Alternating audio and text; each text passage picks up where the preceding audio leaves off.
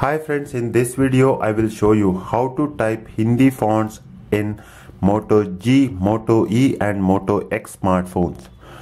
To type Hindi fonts there are multiple ways are available.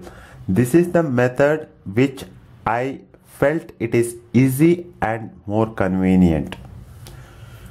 To use with this method go to Play Store and download and install just Hindi keyboard I already installed it. So now I will go to settings. Under settings language and input. Here you have to select just Hindi. You will get a attention message. You can read it. If you want to continue then tap on to OK. Once you enabled it here you need to set the default keyboard also just Hindi go here and select just Hindi.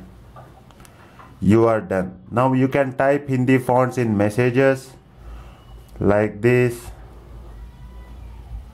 You will get the Hindi fonts. You can switch between English and Hindi using this button.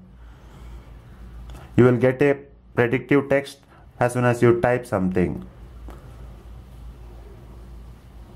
like this even you can type the Hindi fonts in WhatsApp or mails or even you, you can create a contacts in Hindi fonts. Thanks for watching this video. Hope to see you in my next video.